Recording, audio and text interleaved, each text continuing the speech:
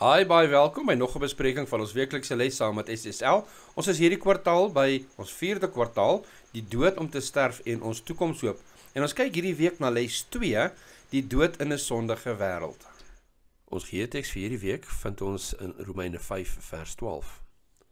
Daarom soos deur een mens die sonde in die wêreld ingekom het en deur die sonde die dood en so die dood tot alle mense deurgedring het omdat almal gesondig het. Romeine 5 vers 12. Ek lees weer.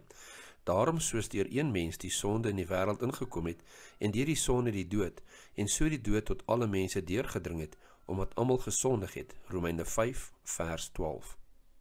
Hi, baie welkom by nog 'n bespreking van ons weeklikse les saam met SSL. Ons is by Donderdag 6 Oktober, die eerste evangelie belofte. En ons het weer vir leraar Herman Sutherland saam met ons om die les te bespreek. Baie welkom leraar en baie dankie.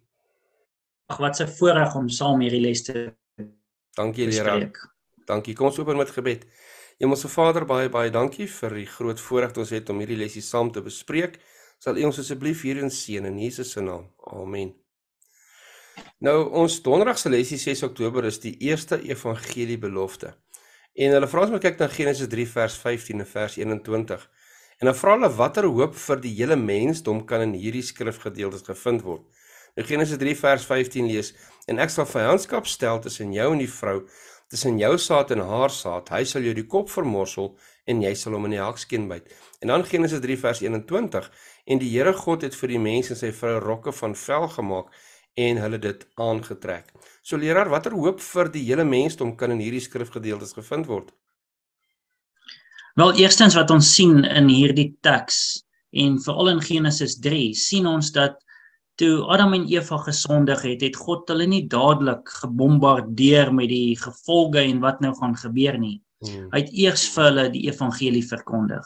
Hy het vir hulle gesê uit Eva se saad uit gaan daar 'n Messias kom wat hierdie slang se kop gaan vermorsel wat natuurlik wys na die kruis toe. En dit is waar Jesus ehm um, Satan se kop of die slang se kop vermorsel het. Hmm. En dan natuurlik het hy 'n uh, gelykenis na hulle toe gebring 'n praktiese gelykenis toe hy die lammetjie na Adam toe bring en moontlik vir hom nog die mes ook gegee het om die lammetjie se keel af te sny sodat hulle kon besef wat sonde doen. Hmm. Sonde bring die dood maar ook vir hulle die les geleer dat 'n onskuldige lam, 'n onskuldige Messias in hierdie wêreld sou kom en as 'n plaasvervangende offer vir die loon van sonde sou wees vir ons. Wat 'n wonderlike hoop dat alhoewel ons misgestap het, alhoewel ons gesondig het, het God 'n plan gemaak. Hy het 'n plan beraam van ewigheid af. Het hy 'n plan beraam sodat ons vrygekoop kan word sodat ons 'n ewigheid saam met hom kan spandeer.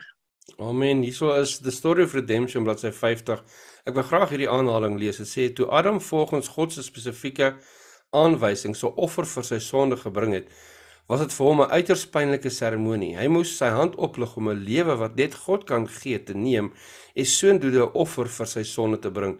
Dit was die eerste keer wat hy gesien het wat die dood behels terwyl hy na die bloeiende slagoffer gekyk het wat in die doodsangs met die bloed geworstel het moes hy in die geloof die seun van God sien waarvan hierdie slagoffer die voorbeeld was om die dood namens die mens te sterf. En ons sien ons in 2 Korintiërs 5 vers 21 wat sê want hy het hom wat geen sonde geken het nie sonde vir ons gemaak sodat ons kan word geregtigheid van God in hom. En leraar hierdie teksvers bevat soveel ons sal nooit in ewigheid die volheid hiervan kan besef nie. Die feit dat hy wat geen sonde geken het nie, sonde gemaak is vir ons. En dan Hebreërs 9:28 wat lees, so sal Christus ook nadat hy eenmal geoffer is om die sondes van baie weg te neem, vir die tweede maal sonder sonde verskyn aan die wat hom ver, uh, verwag tot saligheid. En hier leer ons hierdie geheim wat die eerste keer in Eden geopenbaar is van die Messias wat sal kom en die prys betaal vir die sonde van die mens.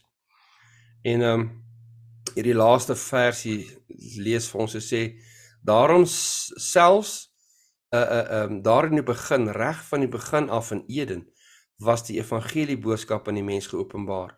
Was die evangelie boodskap reeds in plek gewees vir ons verlossing En is dit God se begeerte van die begin af as jy sal sondig. Hy's getrou om ons sondes te vergewe en ons ook van alle ongeregtigheid te reinig. Iets wat leraar wil noem voor 'n leraar vir ons afsluit met gebed? Ja nee, dis net fantasties dat dat God ons kon vrygekoop het en dat daai belofte nog steeds staande is tot aan ons tyd. Alhoewel ons nou kan terugkyk na wat hy gedoen het op die kruis maar daai is nog steeds daar. Ons moet dit net aanvaar. Dis 'n gawe wat vir elkeen uitgereik word. Hmm. ons moet dit net aanvaar. Amen. Dankie. Dankie lera. Sluit vir ons af met gebed asseblief. Kom ons bid saam. Dankie o Heer dat u vir ons daardie evangelie belofte gelos het. Dankie dat u satan se kop vir ons vermorsel het op die kruis. Dankie dat U ons plaasvervangende offer vir die loon van sonde is. Heer, dankie dat ons daardie gawe kan aanvaar en kan lewe. Dis my gebed in Jesus naam. Amen. Amen. Baie dankie leraar Herman. Baie dankie ook vir elkeen wat ingeskakel het. Tot volgende keer. God se ryke seën.